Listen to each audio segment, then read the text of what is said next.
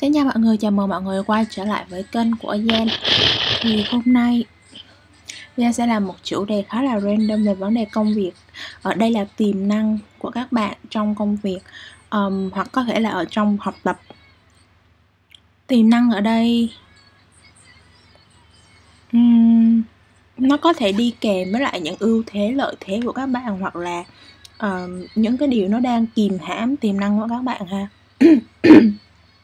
thì thông qua những cái tụ bài này thì Gen mong là các bạn có thể uh, nhìn nhận lại bản thân để coi thử các bạn đã thật sự phát huy được cái khả năng của mình chưa? Hay là có những cái thói quen những cái cách nghĩ xấu nào mà đã khiến cho cái tiềm năng của các bạn bị thụt lùi xuống ha? Trước khi các bạn xem tiếp video thì Giang mong các bạn có thể vào video ba điều lưu ý của Giang để các bạn có thể hiểu hơn về cách Giang trải bài giải nghĩa bài cũng như là cách các bạn hiểu ý nghĩa của những tụ bài ở đây ha. Thì ở đây Gia sẽ có ba tụ bài với lại ba chiếc vòng. Các bạn có thể chọn tụ bài dựa trên vòng hoặc dựa trên tụ bài đều được ha. Chúng ta sẽ thì Gia sẽ một lần nữa Gia sẽ không đếm số. Các bạn chỉ cần uh, chọn cái vòng mà các bạn thích và các bạn nhớ cái các bạn có thể chọn vòng hoặc chọn tụ và các bạn chỉ cần nhớ cái vòng cái vòng mà các bạn đã sử dụng. Giang hiện tại đang ngậm thuốc, cho nên là có vài chỗ thì giọng Giang sẽ không có rõ, thì Giang sẽ tự ờ, động nói lại ha.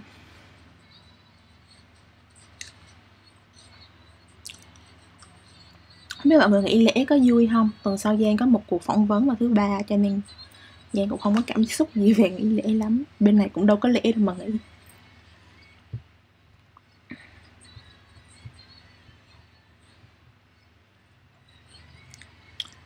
Ok, giai đến với tổ đầu tiên nhé. Giang sẽ chọn tục thứ ba trước.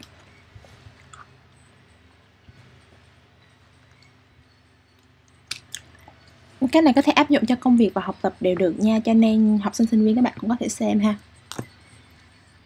Cái này hàng dũng thôi các bạn. Hàng giá rẻ. Các bạn có ba cấp.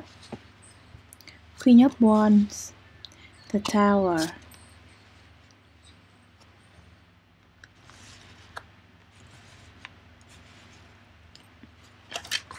Sáu xu Justy The Devil.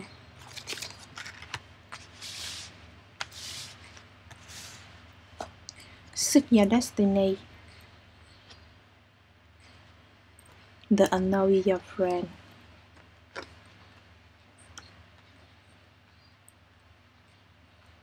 Winter End. Auburn. Và Boundaries.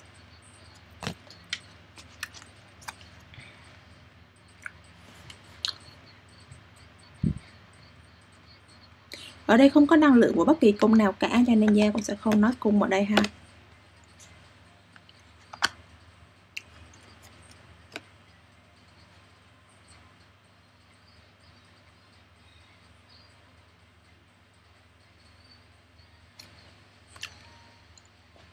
Nếu các bạn hỏi tiềm năng của các bạn trong công việc hoặc trong học tập là cái gì, thì Giang cảm thấy được các bạn là một người rất là hòa đồng và rất là thích giúp đỡ cho người khác.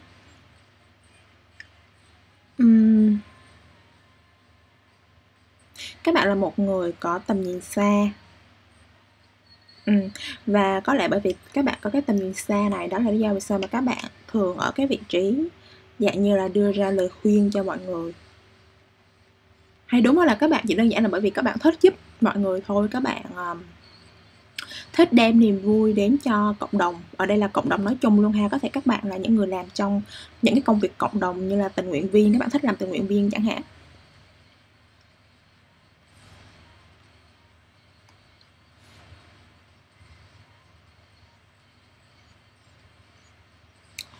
tuy nhiên các bạn lại là một người sợ thất bại.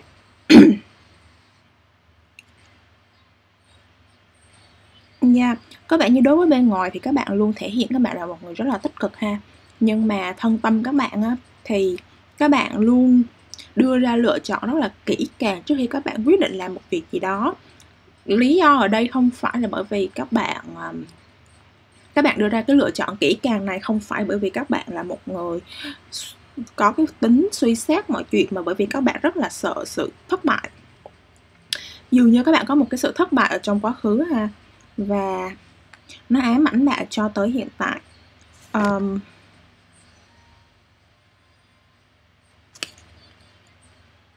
có thể ở trong quá khứ các bạn có một cái vấn đề với lại việc uh, hoạt động nhóm hoặc là cộng đồng có thể các bạn từng bị bắt nạt. Um, và đó là cái lý do mà vì sao các bạn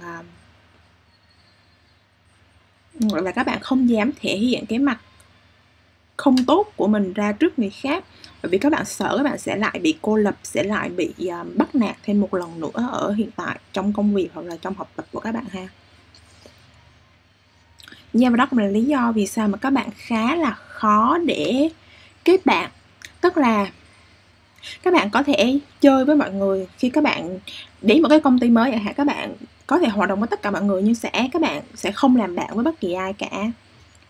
Mà các bạn sẽ cần một thời gian rất là dài để quan sát trước khi các bạn quyết định ai là bạn của các bạn và ai các bạn sẽ không lựa chọn làm bạn ha. Nhưng mà cái sự suy xét của các bạn bị dài quá và cái sự suy xét của các bạn nó không dựa trên một cái tinh thần tỉnh táo mà nó dựa trên nỗi sợ.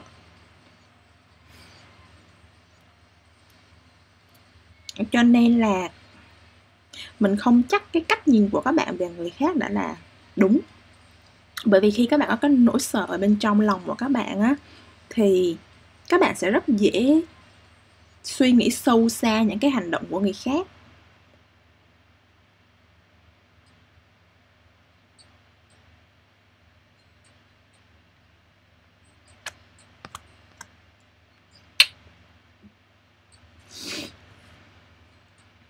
Thì ở đây các bạn có những lá nè là từ know your friend những người mà không biết á, thì mới là bạn bè của các bạn.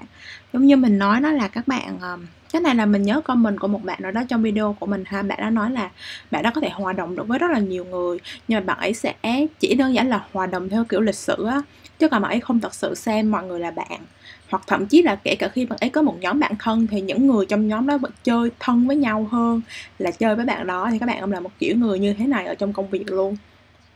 Dạng như là um, nếu như có ai chạy đến hỏi các bạn giúp việc đó, là hỏi các bạn giúp họ bạn vẫn sẽ giúp. Nhưng mà nếu như bình thường không có ai đến hỏi thì các bạn cũng chẳng giúp gì họ cả mà các bạn chỉ đơn giản là hoàn thành tốt công việc của mình và xong. Tá đèn hết có thế thôi.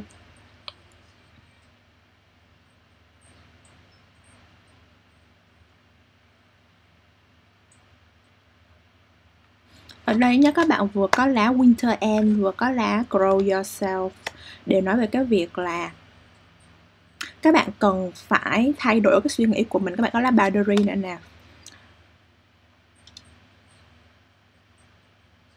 Mình nghĩ có thể ở trong quá khứ của các bạn á, các bạn các bạn đã hết lòng giúp, gọi là các bạn hết lòng dốc sức giúp cho người khác, nhưng cuối cùng thì những người đó không những không cảm ơn bạn mà còn quay sang hại bạn nữa và đó là cái lý do mà vì sao bây giờ các bạn chơi nhưng mà các bạn lại rất là giữ mình. Bởi vì có thể các bạn không biết cách nói không tức là có người nhờ các bạn sẽ lập tức nhận. Nhưng mà các bạn cũng tự hiểu là các bạn chưa có cái khả năng để nhìn coi thử uh, người nào là thật lòng tốt với bạn và người nào là không. Cho nên là các bạn phòng thủ luôn. Các bạn phòng thủ luôn.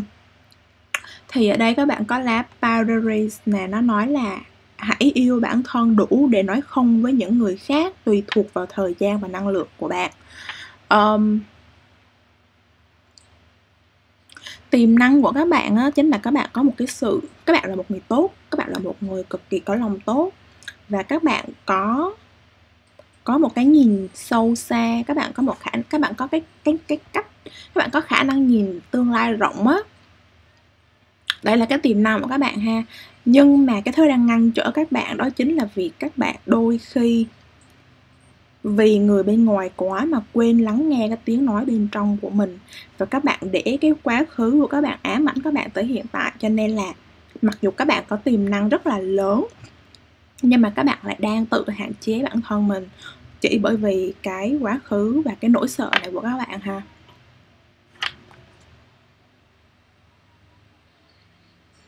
Có lẽ các bạn cảm thấy xấu hổ với bản thân mình đó tại vì các bạn đã để mình bị người khác lợi dụng á. Nhưng mà wow các bạn nói sao nhỉ? Mình không biết bây giờ các bạn đang đi làm hay là đi học nhá nhưng mà đây các bạn có la the know your friend nè. Um, the know your friend hay là những người bạn không biết thì sẽ là bạn của bạn link into employ what next cho đó cái đó này chỉ đơn giản ở đây nói là các bạn không thể nào trốn tránh cuộc sống mãi được. Tại vì các bạn không thể nào à, các bạn không thể nào sống một mình mãi như cái cuộc sống này các bạn sẽ đi làm cũng vậy. các bạn sẽ cần đồng nghiệp và um, khi mà các bạn đối xử với họ mà kiểu như là ngoại kiểu như ngoại giao thôi á thì họ cũng sẽ đối xử với bạn như ngoại giao thôi. Nhưng mà mình rất là thông cảm với những gì xảy ra với các bạn ở trong quá khứ. Tuy nhiên ở hiện tại các bạn đã khác rồi.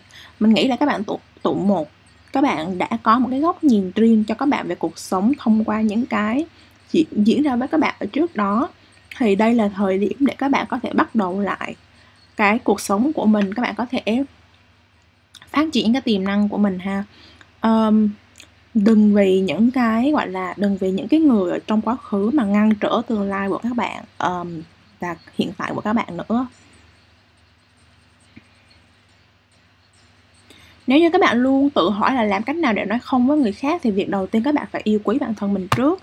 Các bạn phải học sự các bạn phải học cách tha thứ cho bản thân mình. Các bạn coi lá winter end nè là regeneration rebirth.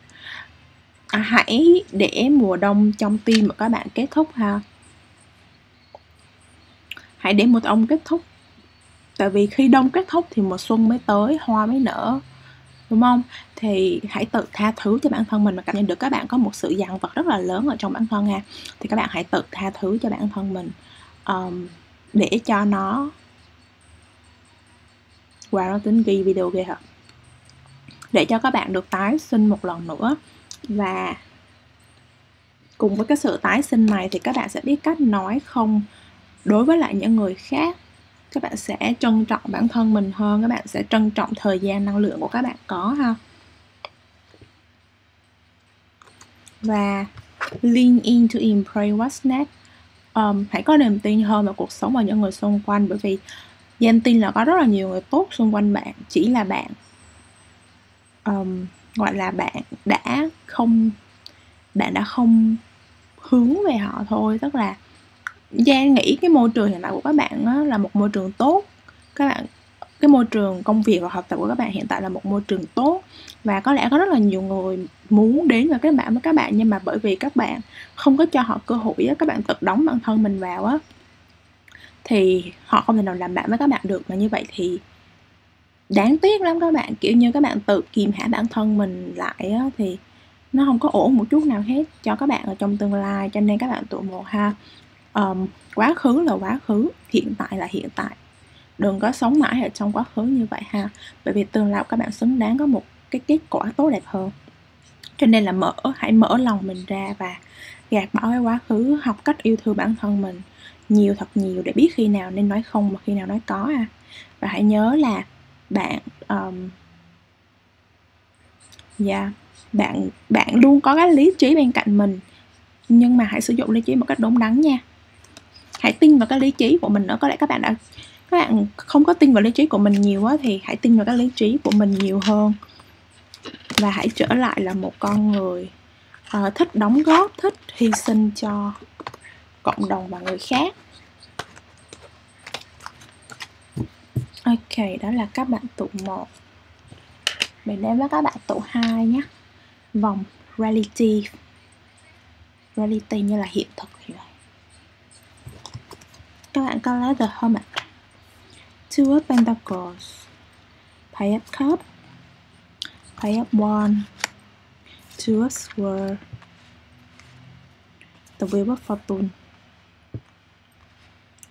Hit the messengers never a crowd on the leading edge Ganesha Carlos, Your independence is the foundation for your strength and success. Um,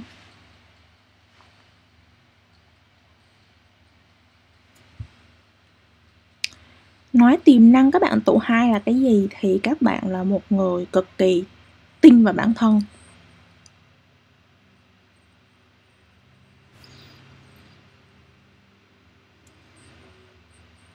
Các bạn luôn có một gọi là các bạn từ trước đến nay luôn có một cái niềm tin á là cái con đường các bạn đi là đúng. Các bạn um, tin là chỉ cần các bạn cố gắng hết mình á thì thì cái việc đó của các bạn sẽ trở thành sự thật và các bạn luôn có những người bên cạnh trợ giúp các bạn. Có thể đó là lý do vì sao hiện tại các bạn rất là đủ đầy hay các bạn cũng là một người cực kỳ ham học hỏi. À, và các bạn rất hiếm khi bỏ cuộc. Tuy nhiên điều này lại gây ra một cái việc á.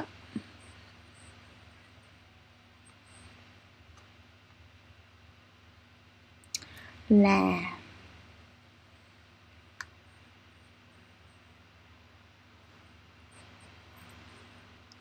là điều này đôi khi lại khiến cho các bạn trở nên uh, mất thực tế với cuộc sống.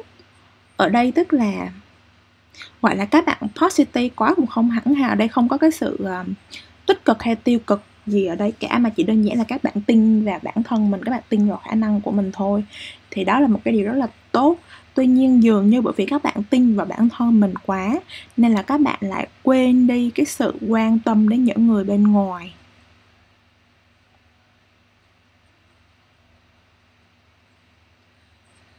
Ừ, để mình rút thêm cho các bạn tụ hai nhé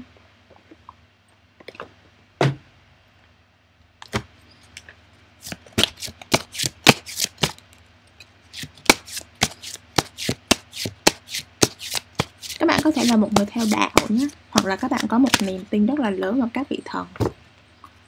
Và có thể đó là một cái tiền đề cho việc các bạn rất là tin vào những cái lựa chọn của mình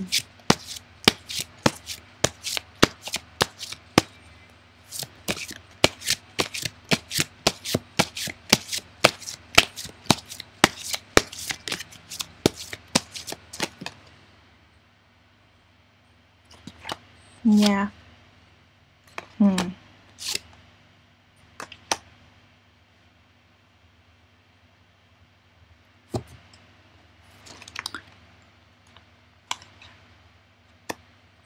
Mình cảm thấy là dường như các bạn đang rất là cố gắng ở trong công việc của mình ha. Nhưng mà có một cái sự mông lung gì đó ở đây, có thể là bạn đã rất là cố gắng trong công việc nhưng mà những cái người đồng nghiệp của bạn hoặc là những cái người làm chung với bạn á, những cái người làm chung với bạn thì dạng như là họ họ không hẳn là họ ghen tị nhưng mà họ cũng dạng như là, mình nhớ cái câu trong đó quân là uh, nghèo thì nó cái gì giàu thì nó ghét mà đói rét thì nó chê ấy. Tức là um, dạng ở đây mình nhớ được mình nó là mình nghĩ đến một cái viễn cảnh như kiểu là um, các bạn um, các bạn bị um, cô độc á. Tức là bởi vì các bạn giỏi các bạn giỏi quá cho nên là mọi người um, ngại khi làm bạn với bạn. và có lẽ điều này đã diễn ra trong một thời gian rất là dài, có thể ngay từ khi còn nhỏ thì các bạn đã là học sinh xuất sắc, các bạn là học sinh giỏi, xong đi làm các bạn cũng được là, nhân viên gương mẫu này nọ chẳng hạn. Và một điều buồn cười là đôi khi khi mà bạn ở vị trí cao quá thì mọi người lại rất là ngại làm việc với bạn. Cũng không phải là họ ghét bạn, mà họ sợ là họ không đủ trình độ để làm việc với bạn ấy.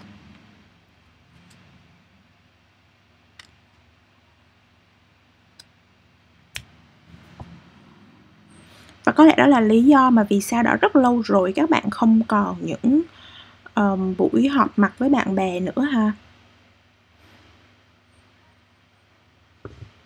Tuy nhiên á mình cảm nhận được ở đây á là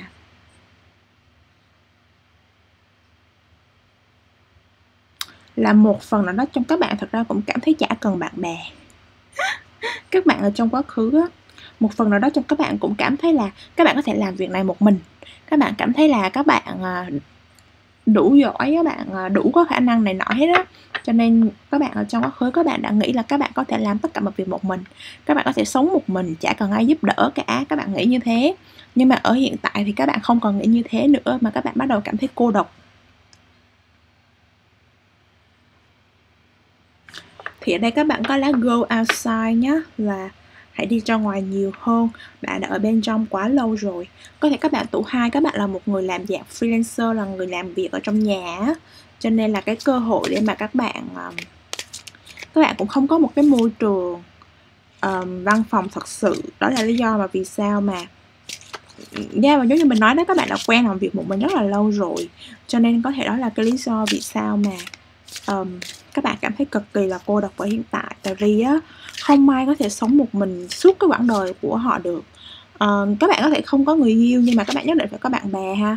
Thì ở đây mình thấy là các bạn có rất là ít bạn bè hoặc thậm chí các bạn chưa bao giờ nghĩ đến việc là thật sự có một người bạn thân hoặc là vì các bạn uh, ra dạng như là sẽ có một nhóm người chơi chung chẳng hạn. Thì các bạn cần phải đi ra ngoài nhiều hơn. Thứ hai là các bạn cần dành thời gian một mình để nghỉ ngơi để nhìn lại cái cái cái cái cái cái cuộc sống của các bạn từ trước đến giờ và đưa ra những cái lựa chọn, những cái quyết định của mình. Có thể các bạn là một người à, các bạn có vẻ như là một người rất là đắm chìm ở trong công việc ha. Các bạn là một người cực kỳ ham làm giàu á. Các bạn khá là ham làm giàu. Các bạn có một cái mục tiêu cực kỳ to lớn ở trong cái công việc của mình ha, nhưng mà cái trái tim của bạn nó đang không ổn, cái cảm xúc của bạn nó đang không ổn lắm. Cho nên là hãy dành thời gian nghỉ ngơi một chút ha. Dành thời gian đi ra ngoài nhiều hơn um,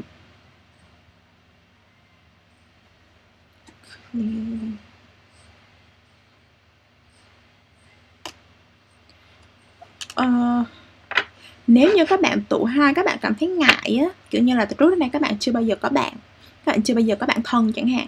Và um, có thể là có những người bạn uh, cũ của các bạn như bạn chung lớp chẳng hạn hoặc là nói chung là một cái gì đó chung là có một nhóm bạn nào đó từng đến rủ bạn đi chơi nhưng mà bởi vì các bạn cảm thấy ngại bởi vì các bạn chưa bao giờ các bạn chưa bao giờ đi chơi với lại bạn bè hết đó thì các bạn đừng có lo tại vì à, các bạn có hai lá là Inner Cosmic và Ganesha các bạn có sự bảo vệ sự hướng dẫn của những vị thần ở trên cao ha cho nên là các bạn hãy awaken the God within you through dance. Um, các bạn có thể đi học nhảy nhưng các bạn cảm thấy thích. Um, tuy nhiên ở đây tức là các bạn hãy có niềm tin nhiều hơn vào bản thân mình. Um, chăm sóc bản thân mình nhiều hơn. Bởi vì mình nói đó các bạn từ trước đến nay đều ở trong nhà mà các bạn chắc cũng không chăm sóc mình nhiều lắm ha. Thì hãy trải chuốt cho mình hãy đi ra ngoài nhiều hơn. Um, có, có thể tham gia cộng đồng nhảy à, cộng đồng học nhảy chẳng hạn. Học nhảy ở đây có nhiều thứ lắm ví dụ như là nhảy uh, dance sport nè uh, ở Hà Nội thì mình thấy có mấy nhóm bạn trẻ là nhảy K-pop. Các bạn không biết nhảy K-pop bạn nhảy dance pop cũng được hoặc là wow chỉ đơn giản là các bạn đi đi đăng ký một lớp học yoga chẳng hạn. Nói chung là hãy đi ra ngoài hãy tham gia vào cái cộng đồng xung quanh nhiều hơn. Um, thì nó sẽ tốt cho bạn ha. Còn tiềm năng các bạn trong công việc thì không có gì để nói rồi. Các bạn là một người quá chủ động ở trong công việc. Các bạn cực kỳ cực kỳ biết bản thân mình cần làm cái gì không cần làm gì trong công việc luôn. Các bạn gần như là master rồi á. Nhưng mà thứ các bạn thiếu duy nhất bây giờ chỉ đơn giản là bạn bè là tình cảm. Um, và dạ, các bạn cần phải học. Các bạn cần phải học cách hòa nhập vào xã hội nhiều hơn ha. Chứ các bạn không thể nào sống mãi ở trong căn phòng với bốn bức tường được. Các bạn có lá the wheel of fortune nè đây là cái thời điểm bánh xe định mệnh của các bạn lại tiếp tục quay rồi là đây là cái thời điểm um, cũng có thể là các bạn uh, sắp đi nước ngoài ha. Và các bạn cảm thấy rất là lo lắng về cái vấn đề đi nước ngoài này bởi vì các bạn um, uh, lạ nước lạ cái nè xong rồi là um, đi sang bên đó sẽ là một cái môi trường cộng đồng mới và các bạn bị bối rối ha. Thì hãy open cho cái vấn đề này nha um, khi các bạn đi sang bên nước ngoài á thì cũng đừng có sống mãi trong bốn bức tường ha mà hãy cố gắng đi ra ngoài nhiều hơn. Um, ban đầu nếu bạn không các bạn chỉ cần lắng nghe mọi người nói chuyện cũng được. Uh, sau đó thì um, các bạn phải hiểu là các bạn muốn người khác làm bạn với các bạn thì các bạn cần phải chủ động trước chứ không thể nào người ta đến hỏi xong rồi bạn im lặng. Hoặc là bạn cũng cứ thu mình ở trong cái góc tường khi mà các bạn đến party các bạn đến party hay là cái gì đó các bạn thu mình trong góc tường thì nó cũng không giải quyết được cái vấn đề gì cả. Các bạn ở đây có lời nói nhé là mỗi mùa uh, mọi thứ đều có cái mùa của nó và mỗi thời điểm thì đều có một cái lý do. Ở dưới thiên đường thời gian một cái khoảng thời gian để thu hoạch thời gian để cười thời gian để uh, má gì đó và thời gian để nhảy. Um, yeah nói chung dễ dàng ở đây nói là cái thời điểm sắp tới các bạn nếu như các bạn đi uh, ra nước ngoài thật á thì đó là thời điểm để các bạn có thể thay đổi. Cho nên là các bạn đừng có sợ hãi hay lo lắng vì vấn đề này ha. Tại vì các bạn đã luôn luôn được những cái vị thần bảo vệ. Hãy lấy cái sự tự tin của các bạn ở trong công việc dùng cái sự tự tin đó cho những cái mối quan hệ xã hội của các bạn thì nó sẽ cực kỳ tốt cho cái công việc của bạn luôn. Sự tự tin là tiền là cái uh, thứ để dẫn dắt cho năng lượng và thành công của các bạn. À, cho cho cho sức mạnh và thành công của các bạn ha hãy giữ cái sự tự tin này của mình ở trong công việc. À, quên dùng cái sự tự dùng cái sự tự tin trong công việc um, trong cái việc làm quen những cái mối quan hệ này. Wheel of Fortune đi ra nước ngoài phải chai mặt lên các bạn ơi.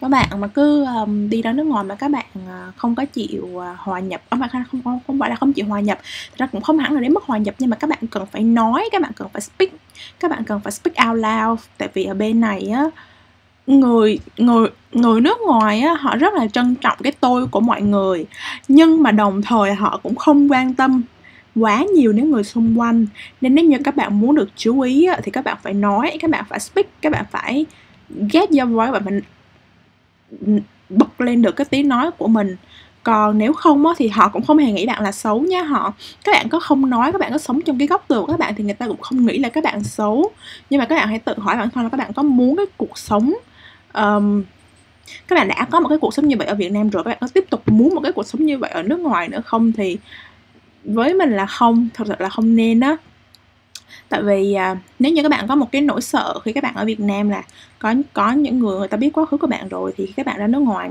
các bạn hoàn toàn bắt đầu lại từ đầu á. Vậy thì hãy hãy để cái cuộc sống của các bạn nó có thêm nhiều màu sắc hơn chứ nó không phải chỉ là trong một cái căn phòng hoặc là một cái góc của một cái một cái góc của một cái chỗ nào đó ha bởi vì cuộc sống life is so beautiful. Cuộc sống rất là tuyệt vời rất là đẹp đẽ. Và các bạn um, các bạn nên trải nghiệm nó nhiều hơn ha. Ok đến với cái vòng thứ ba là vòng màu xanh. Các bạn có ra bốn gậy. Ace of One Jack Four Pentacles Ace of Pentacles Three of Cups Let two become one. The Chorus Nine Nightwing Violet. Okay.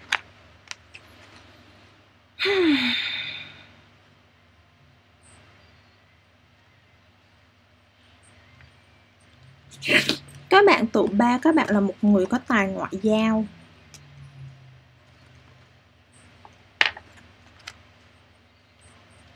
Các bạn có thể là người làm sale hoặc là những cái ngành mà phải nói nhiều á.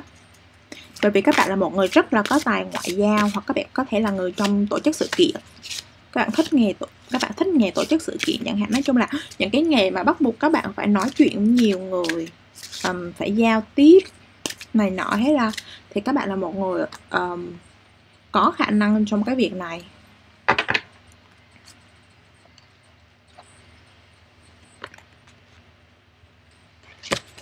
Mình sẽ che lại cái uh, I really can be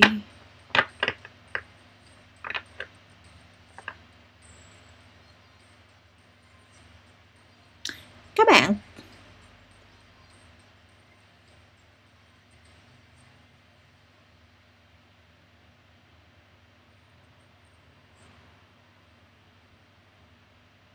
các bạn cũng là một người khá là có mục tiêu rõ ràng trong công việc của mình ờ. uh,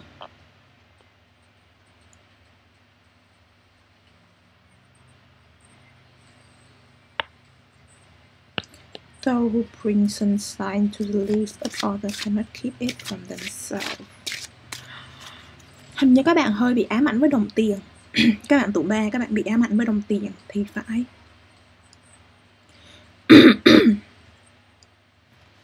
mình sẽ rút thì tuy nhiên mình có thể cảm nhận được đây là các bạn hơi bị ám ảnh với đồng tiền quá đấy. Và cái này nó có liên quan tới quá khứ của các bạn ha. Có thể trong quá khứ thì nhà các bạn không được giàu lắm. Và đó là cái lý do mà vì sao mà hiện tại các bạn um, kiểu như các bạn chọn công việc đó thì các bạn sẽ quan tâm đến vấn đề đồng lương rất là nhiều. Hoặc là các bạn quan tâm đến cái cơ hội thăng tiến ở trong tương lai ha.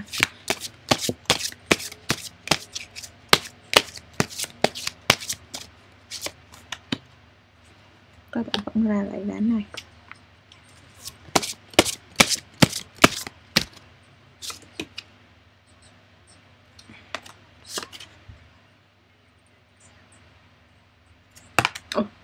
Thế thôi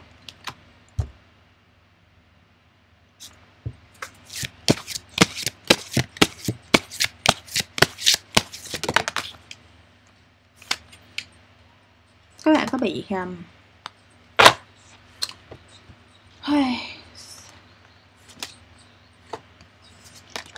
mình không chắc lắm nhá, nhưng mà cái công việc hiện tại của các bạn á, ở đây ở đây là về tiềm năng, nhưng mà mình đang cảm nhận được là hình như công việc hiện tại không phải là công việc các bạn muốn làm. Tuy nhiên bởi vì cái sự ám ảnh về đồng lương và về việc chức vụ á, cho nên là các bạn rất là không dám kết thúc việc này, các bạn sợ các bạn không muốn rơi lại vào à, cái quá khứ khi mà các bạn không có nhiều tiền của có một cái sự mâu thuẫn của các bạn ở trong cơ thể của các bạn giữa giữa mai và sao giữa lý trí và tâm hồn à, giữa lý trí và linh hồn của các bạn đang có một sự mâu thuẫn cực kỳ lớn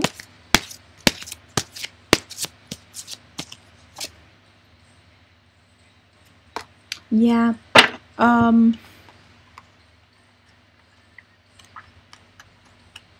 mặc dù các bạn là một người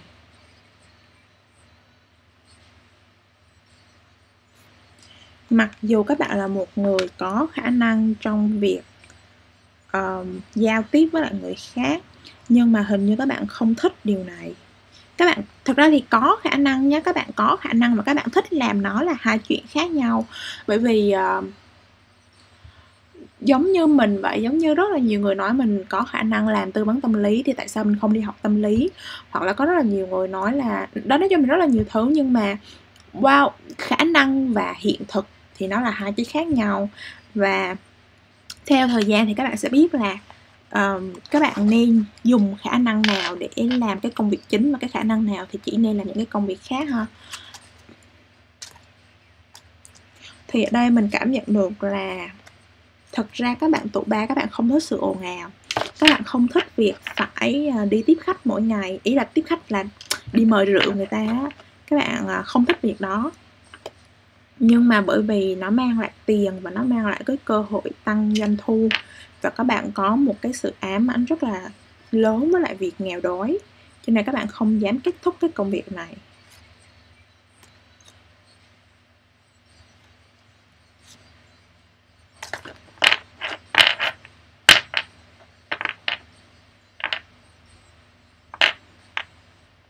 Có lẽ là các bạn là một người không các bạn mặc dù giỏi giao tiếp với người khác nhưng các bạn lại không phải là một người giỏi nói lên cái tiếng nói của mình. Tức là dạng như các bạn các bạn sợ mất tiền mà. Cho nên uh, sếp quyết định cái gì các bạn cũng nghe. Uh, rồi ai kêu các bạn làm gì các bạn cũng nghe các bạn không có dám phản kháng lại. Mặc dù ở trong thân tâm các bạn thì đã có một cái sự khó chịu nhất định rồi.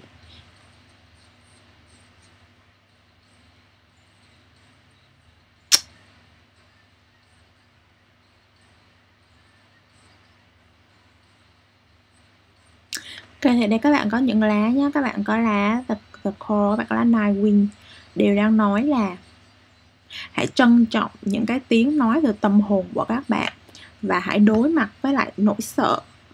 Hãy tự healing bản thân mình ở thời điểm hiện tại à. Các bạn cũng có những cái lá hỗ trợ nè Là nó đều nói là Các bạn cần dành thời gian để nghỉ ngơi uh, Để tự chữa trị cho bản thân. Nha nói chung là các bạn, dường như các bạn ờ, các bạn đã bị cuốn theo lý trí, cuốn theo cái đồng tiền quá lâu mà các bạn không không còn để ý đến cái cảm xúc của mình nữa.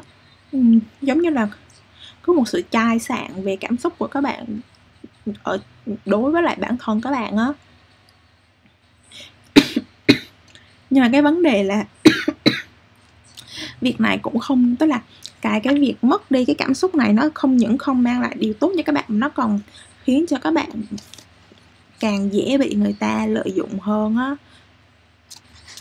Dường như là các bạn, ở đây có thể là các bạn giống như nói đó là các bạn bị bắt đi tiếp khách rất là nhiều. Rồi là đến nơi thì các bạn toàn là bị à, bắt uống nè, rồi à, bắt tiếp chuyện với lại à, những vị khách. Trong khi bạn đã, có dụ như là bạn đã nói từ đầu là bạn không phải là một người uống tốt hoặc là thế này thế nọ hết ừ nhưng mà các bạn lại không có chịu nói ra cái vấn đề này ha. Thì những cái lá ở đây đều nói là các bạn cần cần có một sự kết nối lại giữa tâm trí và tâm và tâm hồn của các bạn. Um, các bạn hãy lắng nghe cái tiếng nói từ tâm hồn của các bạn nhiều hơn. Các bạn không thể nào chạy trốn nỗi sợ được mà các bạn cần phải đối diện với nó.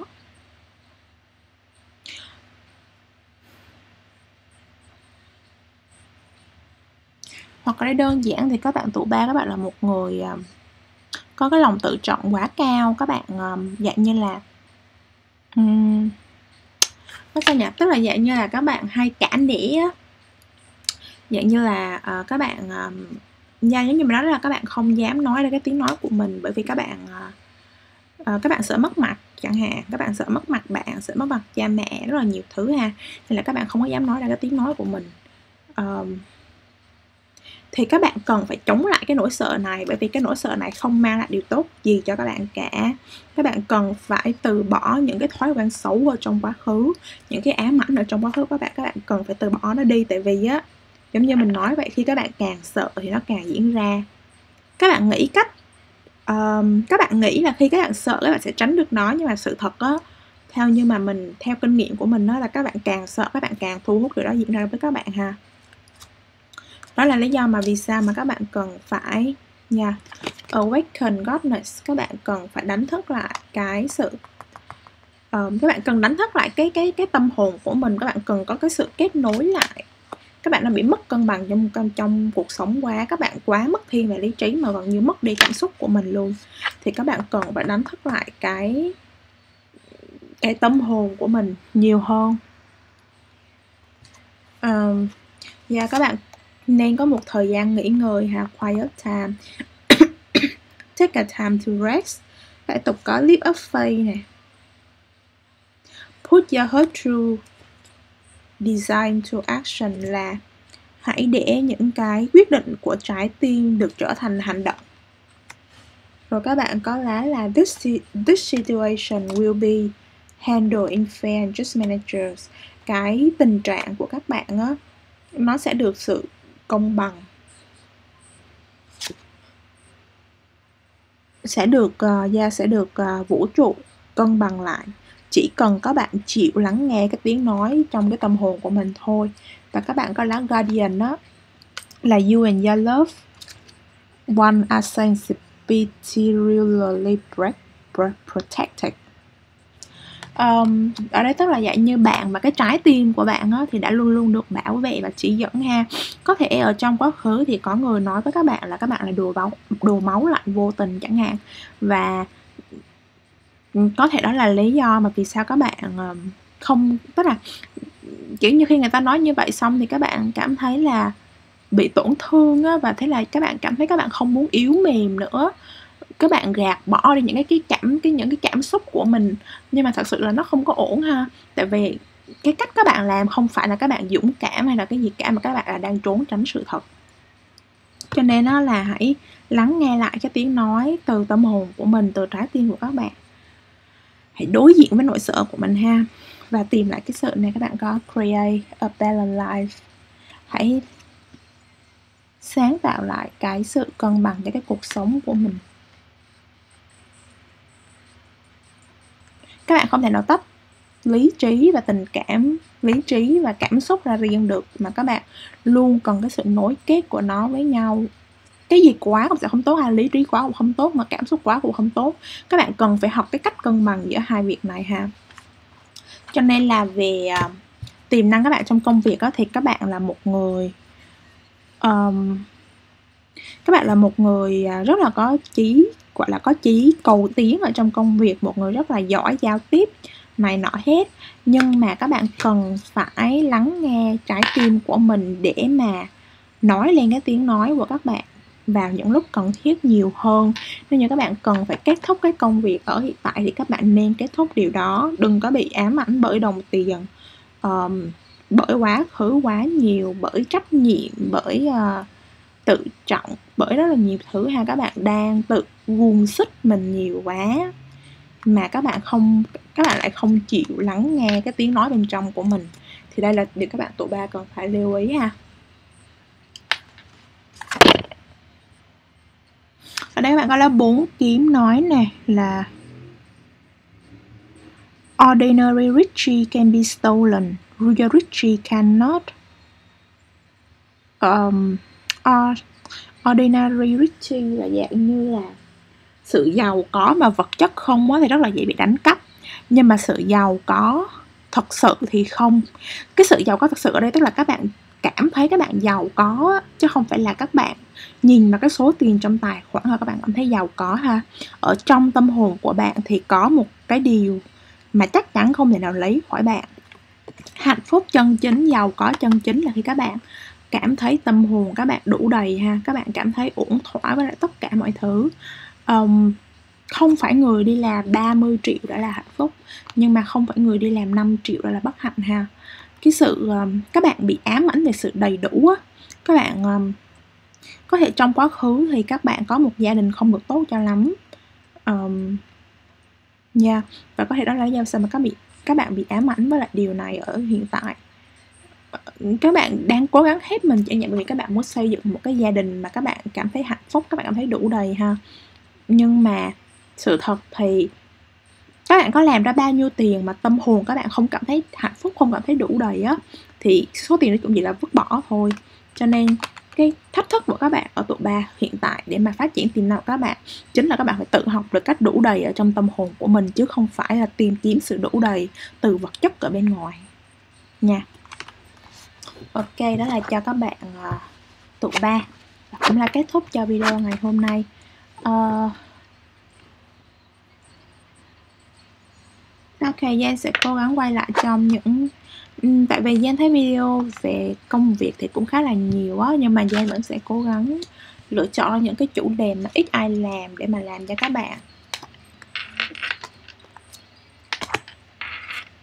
Thì thông qua cái video này thì Giang mong là các bạn um, các bạn sẽ có các bạn sẽ có được những cái câu trả lời cần thiết cho mình hoặc là có những cái thông điệp cần thiết cho các bạn vào lúc này ha. Thì hy vọng các bạn sẽ có một tháng 9 vui vẻ uh, một cái công việc tốt hơn hoặc là công việc tốt hơn mình là các bạn sẽ cảm thấy công việc của các bạn hiện tại tốt hơn hoặc là sẽ có thể đưa ra những cái quyết định tốt hơn cho bản thân mình ha. Xin chào tạm biệt các bạn và hẹn gặp lại các bạn trong những video lần sau. Đừng quên comment ở phía dưới để Giang đọc được uh, những cái câu chuyện của các bạn ha. Tại vì um, Giang nói ra lúc nào cũng tốt hơn mà Giang rất là sẵn sàng ở đây để lắng nghe và chia sẻ với các bạn những cái câu chuyện ở trong cuộc sống. Bye bye!